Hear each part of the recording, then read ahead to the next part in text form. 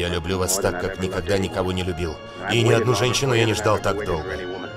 Отпустите меня! Унесенные ветром кинофильм режиссера Виктора Флеминга и продюсера Дэвида Селзника. Яркая история любовных перипетий на фоне гражданской войны.